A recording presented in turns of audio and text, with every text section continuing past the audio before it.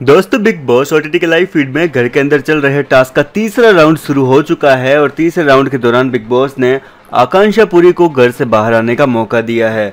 लेकिन दोस्तों, जैसा कि आलिया और बेबिका को बिग बॉस ने खुद ने ये मौका दिया था कि वो अपने बलबूते पर घर वालों के सवाल और जवाब देकर घर से सॉरी जेल से बाहर आ सकती है। उसी प्रकार, आकांक्षा को कोई भी ऐसा मौका नहीं दिया गया है जिसमें कि वो अपनी मन मर्ज़ी के मुताबिक खुद से बाहर आ सकती है।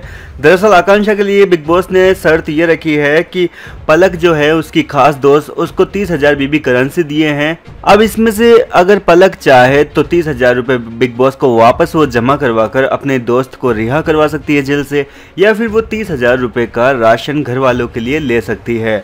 अब पलक काफ़ी बड़ी मुश्किल में फंस चुकी है। अब पलक यहाँ पर काफ़ी बड़ी मुसीबत में फंस चुकी है। उसके लिए फैसला लेना काफ़ी कठिन है, क्योंकि एक और देखा जाए तो घर के अंदर इकलौती उसकी सबसे अच्छी दोस्त आकांक्षा है, जबकि दूसरी ओर बाकी घर के सभी कंटेस्टेंट के लिए वो तीस हज़ार का राशन ले सकती है।